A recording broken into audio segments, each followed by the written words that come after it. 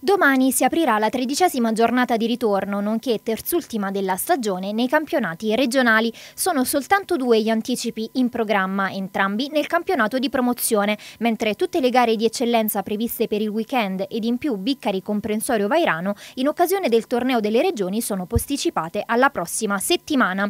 Il Baranello è in cerca di riscatto dopo il KO in casa del Trivento, dove i ragazzi di mister Emanuele Di Chiro hanno perso per 3 a 1. Una sconfitta che arriva dopo una serie molto molto positiva che ha consentito alla formazione di guadagnare matematicamente la terza posizione in campionato e dunque un posto nei playoff.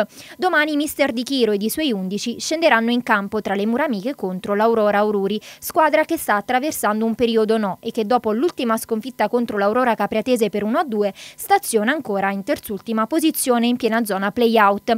Se i padroni di casa, focalizzati a rimediare all'ultima sconfitta, potranno contare sul fattore campo, sul risultato positivo dell'andata e anche sul loro ormai consolidato terzo posto, gli ospiti sono invece chiamati ad un impegno massimo, vista la difficoltà della sfida che li aspetta.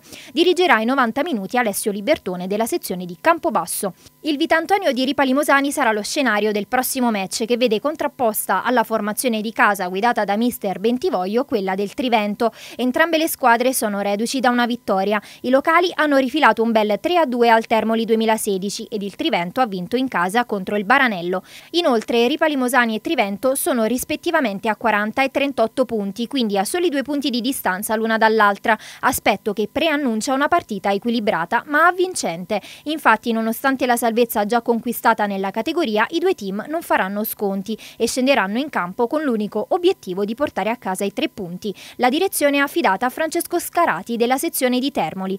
Le quattro formazioni protagoniste di questi due anticipi scenderanno in campo alle ore 15.